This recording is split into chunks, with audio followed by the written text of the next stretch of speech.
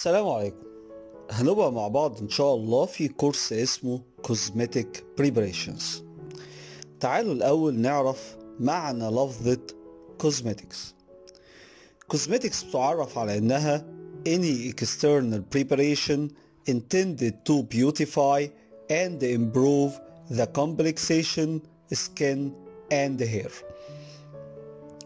لفظة cosmetic كمان ممكن تعرف على انها the art of beautifying or decorating the human body.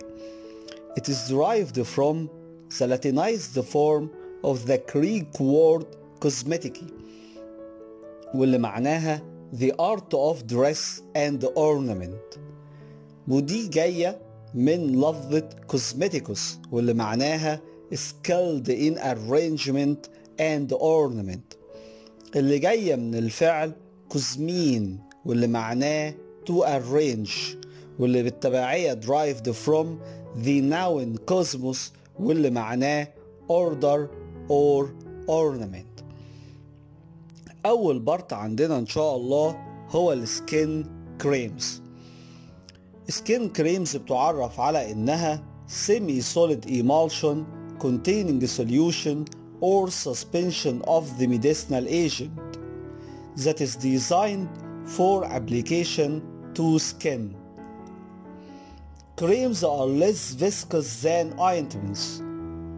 It may be an oil in water or water in oil emulsion. Being an emulsion, creams are more liable to instability than ointments. أول كريم عندنا هو الكولد كريم أو اسمه beeswax borax cream. The water in oil emollient cream used to nourish skin at night. بيتكون من beeswax, white soft paraffin, olive oil, borax, and water. Beeswax gives the body to the cream and takes part in the emulsification process. White soft paraffin gives body or increases density of the cream. في حين ان الاويل promotes the cleansing action of the cream وإن كان الأوليف oil ليه nourishing effect. Borax is an alkali react with free fatty acids producing soup causing emulsification. الكولد كريم as an emulsion بيتكون من oily phase و aqueous phase. Oily phase بتتمثل في beeswax, white soft paraffin and olive oil. وال aqueous phase بتتمثل في borax and water. طب بما إنه emulsion في مين هنا هيعمل ال emulsification؟ فين ال emulsifier؟ قال لي ال emulsifier هو عبارة عن soap هينتج من تفاعل ال borax مع ال free fatty acids اللي موجودة في ال beeswax وال olive oil. ال soap ده أو ال soap اللي هينتج من التفاعل ده هو اللي هيعمل emulsification للكريم plus إن ال beeswax فيها emulsifying esters بتساعد كمان في الكريم emulsification. Cold cream is a white cream of high luster. هو shiny cream. Shiny نتيجة لأنه water in oil free from graininess has firm consistency and liquefy on application to skin to spread with ease possess smoothness and shine بنقول عليه cold cream عشان ليه cooling effect نتيجة ان الووتر content of the cream بيحصل له evaporation when applied to skin ال water عشان يحصل له evaporation محتاج latent heat of evaporation. هياخدها منين؟ اللي هياخدها من ال skin وبالتبعية هيعمل cooling. كمان عشان ال cold cream فيه oily content كتير من 45 ل 80% تقريبا من ال volume بتاعه عبارة عن oily phase فهو ليه emollient effect وكمان بنقول عليه occluding agent. As it occludes water of the skin أو conserves water of the skin against unfavorable environment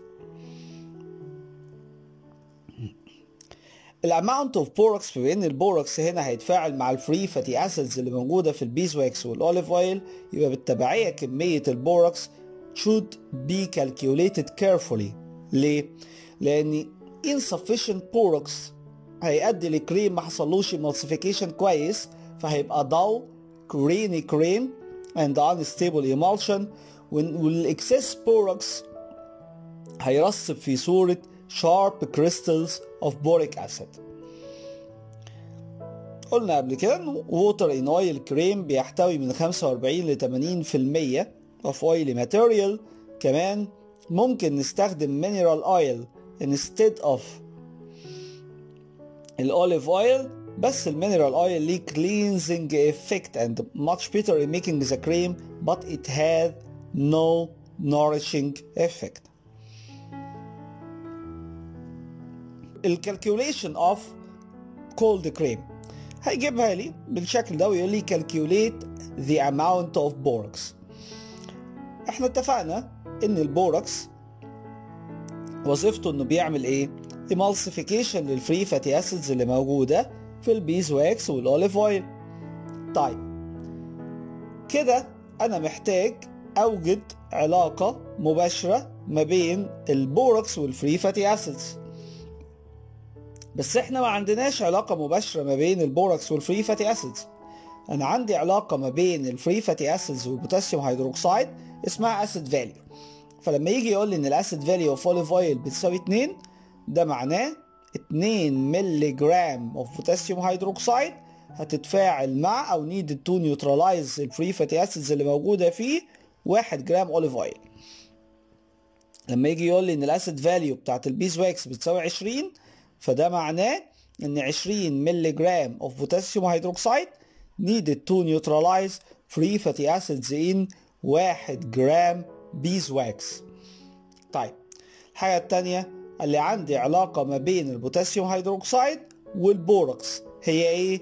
إن 1 mole borax equivalent to 2 moles potassium hydroxide كل mole borax بيعادل 2 مول من ال potassium hydroxide طيب يبقى كده أول خطوة في الحل عندي هتبقى إيه؟ إن أنا أحسب ال amount of potassium hydroxide وبعد كده بمعلومية ال amount of potassium hydroxide دي أقدر أحسب ال amount of borax تمام. قلنا إن العلاقة ما بين ال free fatty acids و potassium hydroxide اسمها acid value اللي تعريفها إيه؟ It is the number of milligrams of potassium hydroxide required to neutralize free fatty acids of 1 gram of oil or fat. وزي ما قلنا لما يقول لي acid value of olive oil بتساوي 2 ده معناه إيه؟ 2 مللي جرام potassium hydroxide needed to neutralize free fatty acids in 1 gram of olive oil. طيب الحاجة التانية العلاقة ما بين ال borax وال potassium hydroxide طيب لما نبص على معادلات ال hydrolysis of borax هنلاقي إن 1 mole borax يديني 2 moles of sodium hydroxide وبما ان 2 moles sodium hydroxide equivalent ل 2 moles potassium hydroxide اذا أنا أقدر أقول ان 1 mole borax equivalent to 2 مول من ال sodium hydroxide اللي بالتبعية equivalent to 2 moles برضو من ال potassium hydroxide طب ال molecular weight بتاعت ال borax كام 381 و43 من 100 جرام هيبقى equivalent ل 2 مول من ال potassium hydroxide اللي هم 112 و22 من 100 جرام. طب أول خطوة عندنا هي ال amount of potassium hydroxide required to neutralize free fatty acids of olive oil and beeswax. Acid value of beeswax بتساوي 20 وده معناه 20 مللي جرام potassium hydroxide needed to neutralize free fatty acids in 1 جرام beeswax. أنا عندي كام جرام beeswax عندي 12 ونص جرام beeswax هيحتاجوا قد إيه potassium hydroxide هنعمل cross multiplication هيطلع إيه؟ 250 مللي جرام potassium hydroxide طيب. عندي source تاني فيه free fatty acids آه عندي ال olive oil ال acid value بتاعته بتساوي 2 وده معناه إيه؟ 2 مللي جرام من ال potassium hydroxide required to neutralize free fatty acids in 1 جرام olive oil. طيب أنا عندي قد إيه olive oil؟ 50 جرام. هيحتاجوا قد إيه potassium hydroxide 100 مللي جرام. اذا ال total potassium hydroxide needed 250 مللي جرام اللي محتاجهم ال beeswax و100 مللي جرام اللي محتاجهم ال olive oil يبقى 350 مللي جرام. كان عندنا oily content تاني اللي هو ال white soft paraffin. بس ال white soft paraffin ما فيهوش free fatty acids وبالتالي مش هيحتاج potassium hydroxide وبالتبعية مش هيحتاج borax طيب الخطوة الثانية إن أنا احول ال 350 مللي جرام potassium hydroxide لما يكافئهم من ال borax طيب إحنا عرفنا إن 1 mole borax equivalent ل 2 moles potassium hydroxide يعني 381 و43 من 100 جرام borax يعادلوا 112 و22 من 100 جرام من ال potassium hydroxide. أنا محتاج قد إيه potassium hydroxide؟ أنا محتاج 350 مللي جرام potassium hydroxide. طيب أقدر أعمل cross multiplication هطلع محتاج 1189 و63 من 100 مللي جرام من ال borax. طيب هتحولها للجرام هتبقى 1.189 جرام من ال borax. جميل. الخطوه اللي بعد كده إن أنا هعمل further calculation بتاعتي. given volume given volume بتاع ال prescription بتاعتي كان 100 جرام. هتجمع المكونات. هيطلع 100 جرام. ال required volume هو طلب مني أحضر 20 جرام. يبقى عندي factor required على ال given 20 على 100.2 هضرب ال factor ده في كل كميات في كمية ال beeswax كمية ال olive oil كمية ال white soft paraffin و كمية ال white soft paraffin وكمية ال water هيديني الكميات اللي المفروض أستخدمها عشان أحضر التجربة بتاعتي. 2.5 جرام من ال olive من ال beeswax 10 جرام olive oil 0.24 جرام borax 4.8 ملي لتر من ال purified water و2.5 جرام من ال white soft paraffin method of preparation. طريقة تحضير ال creams تقريبا واحدة. oily phase هحطها في porcelain dish على ال water bath و aqueous phase هحطها في beaker هحضرها في beaker وبعد كده أحط ال aqueous phase على ال oily phase وإحنا بنعمل trituration فأنا عندي porcelain dish ال porcelain dish ده هبدأ أضيف فيه ال oily content بتاعتي. هنضيف الحاجات ال solid الأول بعد كده أضيف بعد ما يحصل لها complete melting اضيف الحاجات ال semisolid بعد ما يحصل لها complete melting هضيف الحاجات ال liquid فأنا عندي beeswax ده solid white soft paraffin ده semisolid وال olive oil ده liquid هنحط الأول في ال porcelain dish porcelain dish ده هيبقى محطوط over non-boiling water bath هيبقى محطوط على water bath هحط الأول ال beeswax لغاية ما يحصل لها complete melting بعد كده أحط عليهم ال white soft paraffin لغاية ما يحصل له complete melting وفي النهاية أحط عليهم ال olive oil وأعمل mixing بال glass rod عشان أوصل ل homogeneous component عشان يبقوا homogeneous في بعض. طب ال aqueous content هنعمل إيه؟ هنجيب beaker وال beaker ده هبدأ أدوب ال borax في ال water أحط ال water وأدوب في ال borax.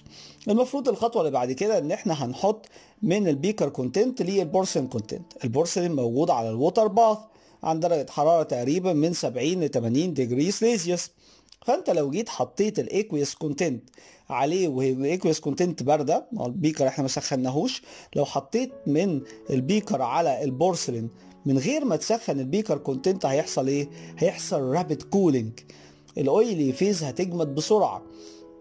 وال oily phase لو جمدت بسرعة أنت مش هتلحق تعمل mixing عشان يحصل ال emulsification وبالتالي يبقى ال aqueous phase incorporated جوه ال oily phase فهيطلع لك كريم فاصل. جزء oily لوحده جمد لوحده وجزء aqueous لوحده. عشان نتجنب ده هنعمل إيه؟ هنسخن ال beaker الأول. قبل ما نحط من مكونات ال beaker على البورسلين هبدأ أسخن ال beaker. طيب يبقى أنا عندي porcelain dish على ال water bath في beeswax حصل له melting بعد كده white soft paraffin حصل له melting بعد كده olive oil. طب و beaker؟ هندوب ال borax في ال water وبعد كده سخن ال beaker content كمان over non boiling water bath هتسخن ال beaker content هي كمان على water bath بس هتسخنها تقريبا 30 40 ثانية مش أكتر من كده.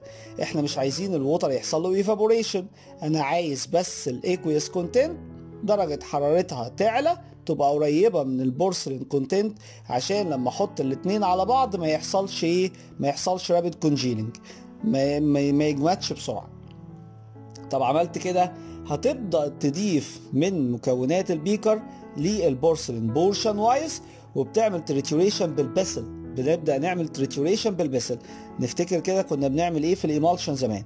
هتعمل trituration بال pestle rapidly in one direction بسرعة في اتجاه واحد. لغاية إمتى؟ لغاية ما يكو...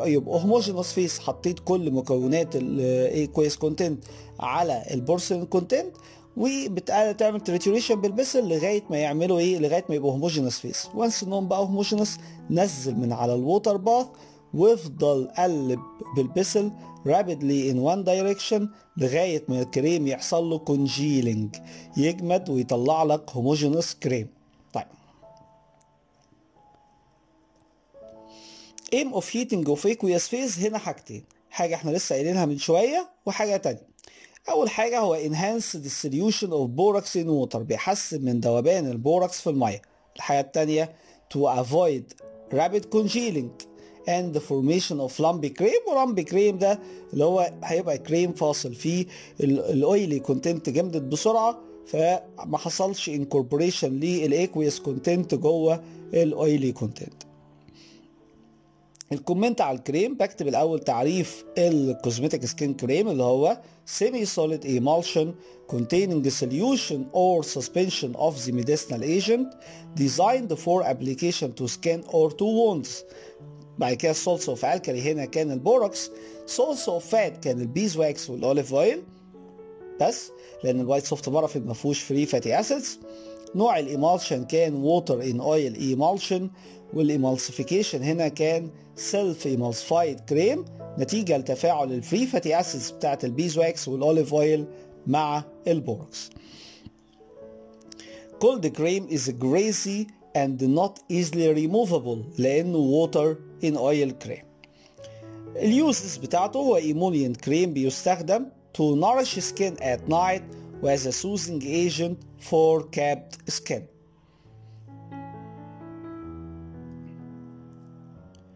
ال emulsification بقى type of emulsion هنا. هنا إحنا عندنا ال borax هيطلع لي sodium hydroxide اللي هيتفاعل مع ال free fatty acids اللي موجودة في ال olive oil عشان يديني soap ال soap ده هيطلع oil in water emulsion نقول تاني. ال borax مع ال oily phase هيطلع sodium hydroxide هيتفاعل مع ال free fatty acids اللي موجودة في ال olive oil فيطلع لي soap. ال soap ده بيطلع oil in water emulsion طيب. وهيتفاعل كمان مع ال free fatty acids اللي موجودة في ال beeswax فهيديني soap ال soap ده بيطلع water in oil emulsion كمان ال emulsifying esters اللي موجودة في ال beeswax بت favor إنها تطلع water in oil emulsion يبقى أنا عندي borax مع free fatty acids of olive oil هيطلع soap اللي بي favor إنه يطلع oil in water emulsion إنما ال water ال borax مع ال free fatty acids اللي موجودة في ال beeswax هيطلع soap اللي هي favor آه إنه يطلع water in oil emulsion و emulsifying esters بتاعت ال beeswax بت favor إنها تطلع water in oil emulsion عشان كده إحنا مجازا بنقول على نوع ال cold cream إنه water in oil emulsion إنما في حقيقة الأمر it's dual type emulsion بيبقى فيه نوعين. بيبقى فيه water in oil و oil in water emulsion طيب عشان ده مش stable فدلوقتي بقوا يستبدلوا ال borax بإن هم يستخدموا external emulsifier زي ال glyceryl monostearate عشان يضمنوا إن ال emulsion اللي هيطلع لنا هو water in oil emulsion دي فكرة تانية من فكرة مسائل ال cold cream أنت ممكن تدرب نفسك على طريقة الحل بتاعتها. برضو نفس الفكرة إحنا بنوصل في البداية للبوتاسيوم هيدروكسيد وبعد كده بقدر أتحرك من البوتاسيوم هيدروكسيد بس هنا المسألة somehow بالعكس. أنت عندك كمية borax ومحتاج تعرف كمية ال beeswax وبالمناسبة هنا ال mineral oil ما فيهوش free fatty acids فمش هيستهلك جزء من ال borax. يبقى أنا هحول ال amount of borax لما يعادلها من البوتاسيوم هيدروكسيد وبمعلومية ال acid value بتاعة ال beeswax أقدر أحسب كمية البوتاسيوم هيدروكسيد دي بتعادل قد إيه من ال beeswax الكريم التاني عندنا النهارده هو ال vanishing cream الفانيشنج كريم هو oil in water emollient cream that is used to nourish skin during day بيتكون من stearic acid, glycerol, potassium hydroxide and water. It is an emulsion of stearic acid. هو عبارة عن emulsion of stearic acid. الامالسيفيكيشن هنا بينتج نتيجة لتفاعل البوتاسيوم هيدروكسيد مع الجزء اللي حصل له ionization من ال stearic acid عشان يديني soap اللي هو potassium stearate اللي هيساعد في ال emulsification of the cream.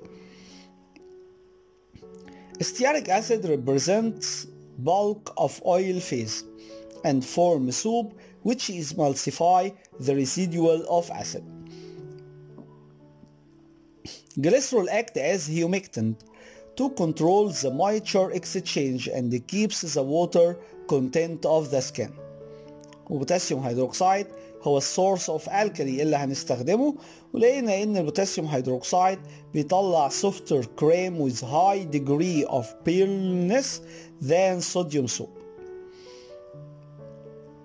اسمه vanishing cream because it vanish أو seems to disappear when rubbed to skin. لما بعمل له ابلكيشن على السكن بيختفي بيسيب فيلم شفاف. فعشان كده قلنا أو كده اتسمى باسم vanishing cream.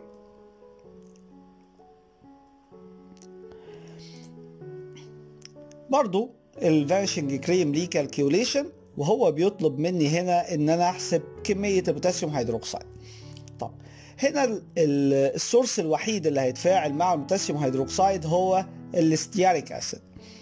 ولما جينا ندور لقينا إن كل مول من ال stearic acid equivalent ليه 1 مول من البوتاسيوم هيدروكسيد كل مول stearic acid بيكافئ مول من البوتاسيوم هيدروكسيد ولكن مش كل ال stearic acid اللي موجود عندي في ال prescription هيتفاعل مع البوتاسيوم هيدروكسيد الجزء ال ionizable بس الجزء ال ionized بس من ال stearic acid هو اللي هيتفاعل مع البوتاسيوم هيدروكسيد وال ionization factor في ال stearic acid هو 25% يبقى بالتبعية 25% بس من كمية ال acid اللي عندي دي هي اللي هتتفاعل مع البوتاسيوم هيدروكسيد عشان تديني soap يعمل emulsification لباقي ال acid.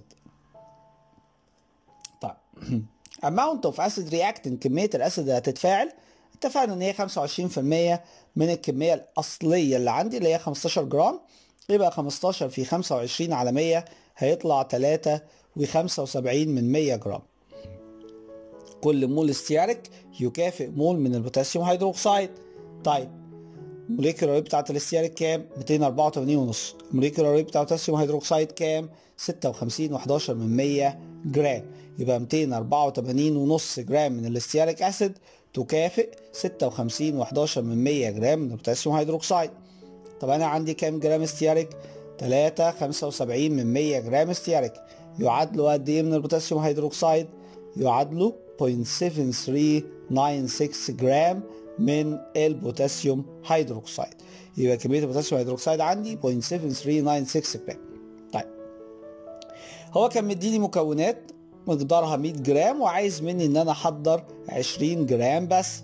يبقى هحسب factor بيساوي required over given 20 على 100 وبعد كده أقدر أحسب الكميات اللي هشتغل بيها اللي هي stearic acid 3 جرام جليسرول 1 جرام بوتاسيوم هيدروكسيد 0.148 جرام و water 15.8 ملي لتر طريقة التحضير نفس طريقة التحضير. porcelain dish over non boiling water bath هحط فيه ال oily content اللي هي هنا ال stearic acid بس. يبقى أنا عندي porcelain dish محطوط over non boiling water bath هحط فيه ال stearic acid لغاية ما يحصل له complete melting طيب الحاجة الثانية عندي beaker هعمل فيه إيه؟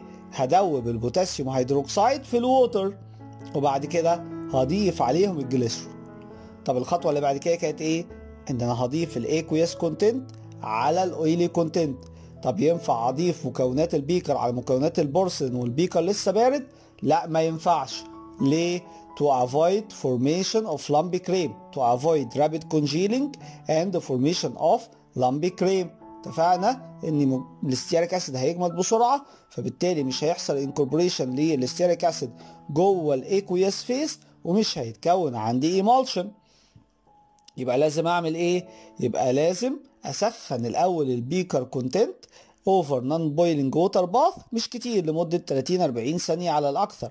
أنا عايز درجة حرارتها تعلى تبقى قريبة من ال 70 درجة أو ال 80 درجة بتاعه مكونات البورسلين إنما مش عايزه يغلي ويحصل evaporation لل water طيب بعد كده هنضيف من ال beaker content لل porcelain content وال porcelain لسه على ال water bath portion wise وإحنا بنعمل trituration كويس لغاية ما يكون homogeneous phase once إنه كون homogeneous phase هعمل إيه؟ هنزل من على ال water bath وأقلب بال pestle هكمل trituration بال pestle لغاية ما الكريم يحصل له cooling and congealing هنا critical point إن أنت لازم تعمل trituration كويس قوي لأن أنت بتحاول تكون emulsion تحاول تعمل incorporation لحاجة aqueous جوه حاجة oily أو تعمل incorporation لحاجة oily جوه حاجة aqueous طيب.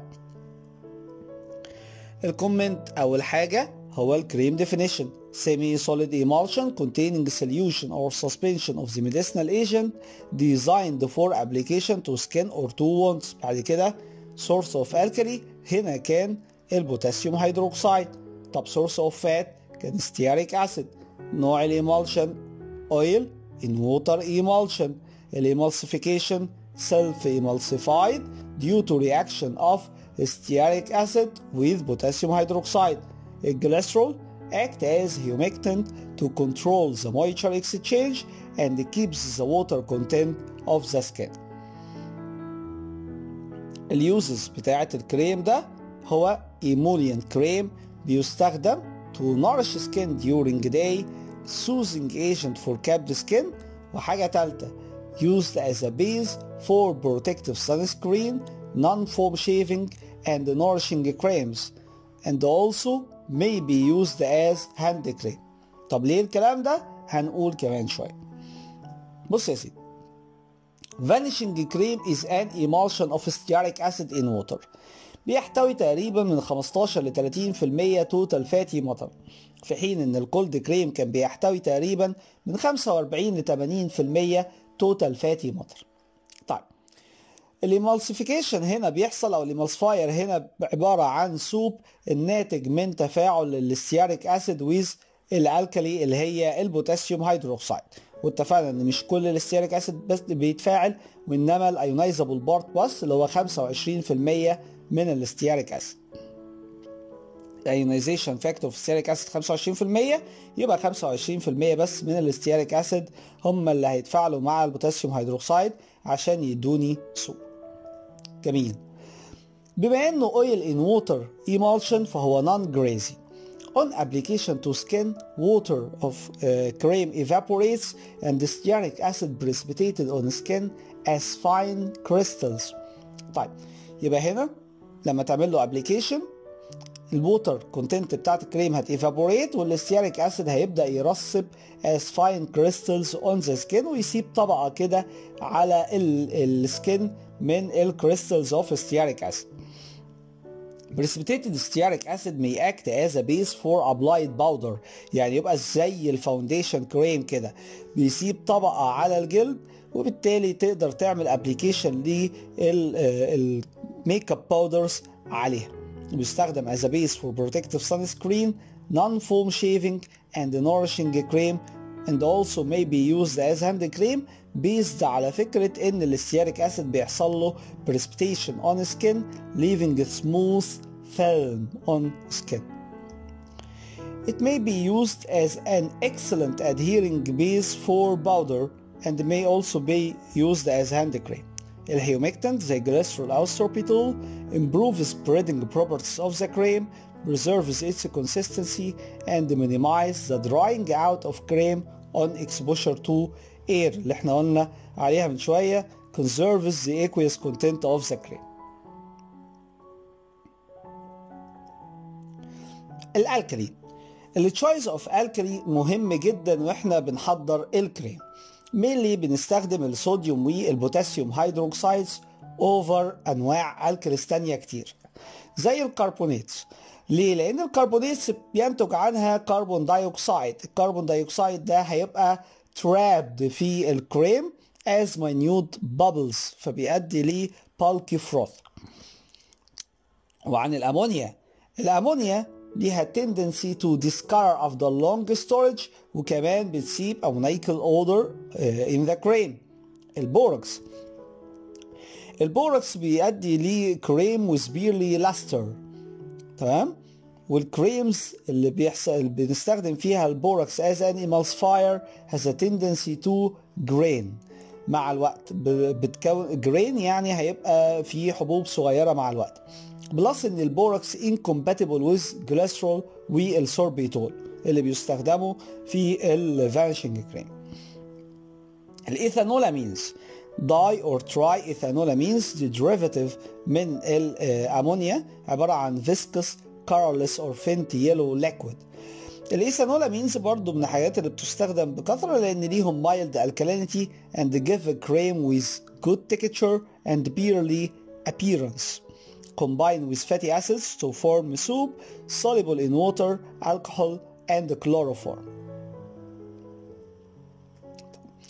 يعني هنا نقدر نقول إن mainly في ال creams بنستخدم potassium hydroxide أو sodium hydroxide أو triethanolamine ال sodium stearate ليه HLB 18 ال potassium stearate ليه HLB 20 وال triethanolamine stearate ليه HLB 12 ال sodium hydroxide بيديني hard cream في حين إن triethanolamine هيديني soft cream إنما ال potassium hydroxide بيبقى in between.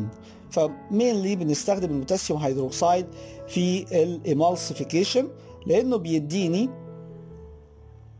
soft cream softer cream than sodium hydroxide with high degree of uh, pearliness than ال sodium soap. ال sodium soap بيديني more hard cream بيبقى uh, dense cream عن ال potassium soap. أخيرا comparison ما بين الكولد كريم والفانشنج كريم الكولد كريم الايمالشن تايب كان water in oil في حين إن ال vanishing كان oil in water ال oily content بتاعت ال cold cream كان من 45 ل 80 في المية water content بيبقى around 25 في المية. في ال vanishing كان ال oily content تقريبا من 15 ل 25 في المية with an average water content of 80 في المية. ال cold cream بيستخدم to nourish skin at night في حين إن ال vanishing cream بيستخدم to nourish skin during day. ال cold cream بيبقى shiny appearance not easily disappear. يعني بيسيب shiny appearance على ال skin إنما ال vanishing cream بيسيب matte appearance على ال skin disappears rapidly أو vanish rapidly. عشان كده أصلا يسمى vanishing cream ال cold cream ما بنستخدمش فيه humectant في حين إن ال vanishing cream استخدمنا فيه humectant زي الجليسرول وشكرا لكم جدا. ألقاكم على خير في المعمل إن شاء الله.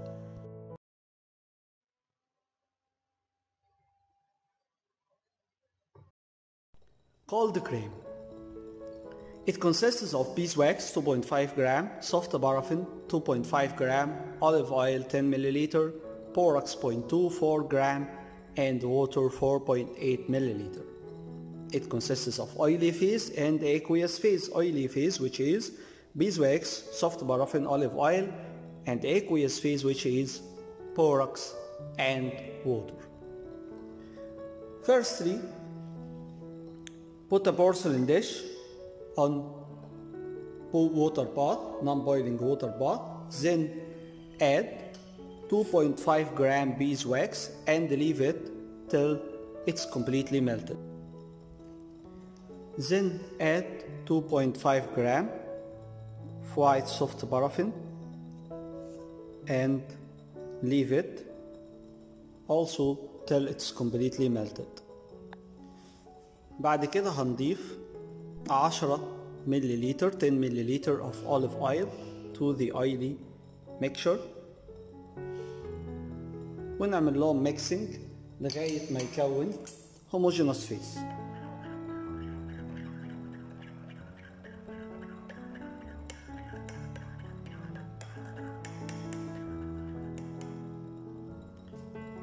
In a beaker, add 4.8 milliliter of water.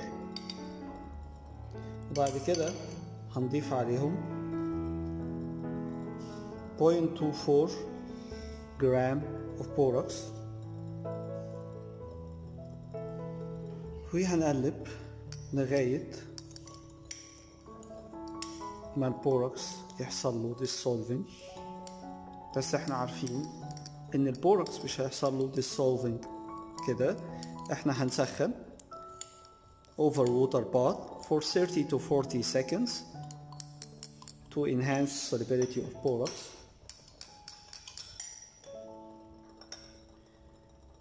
add beaker content to portion content portion wise with stirring with pestle till form a homogeneous phase then remove from water bath and continue trituration with pestle till congealing and the formation of the cold cream ده كده هو الشكل النهائي للكولد كريم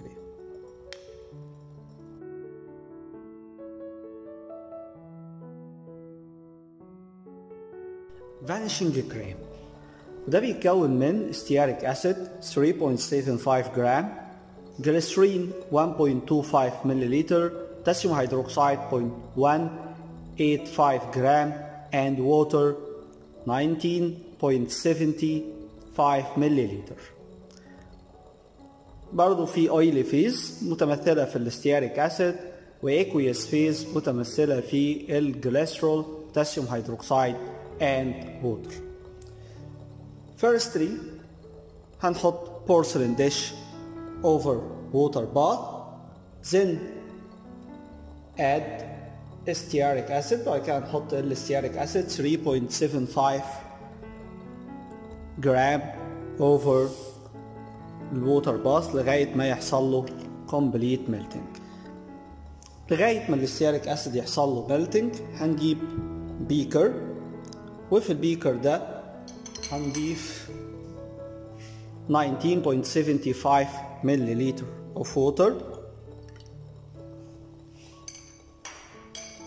وبعد كده هن add عليهم 0.185 جرام potassium hydroxide ونعمل لهم stirring لغاية ما يحصل إيه؟ لغاية ما ال potassium hydroxide يحصل لها dissolve كده ال potassium hydroxide حصل لها dissolving بعد كده هنضيف 1.25 ملليلتر of glycerol لل mixture ده.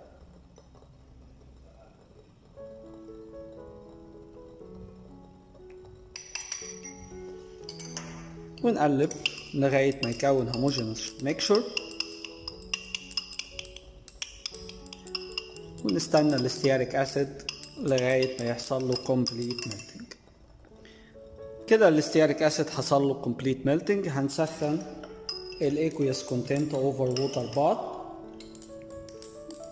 to avoid rapid congealing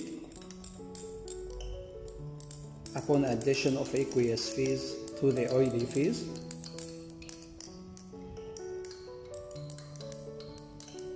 we will heat it for 30 to 40 seconds نراعي إن إحنا ما نسيبهوش كتير على الوتر باث عشان ما يحصلش evaporation للاqueous content.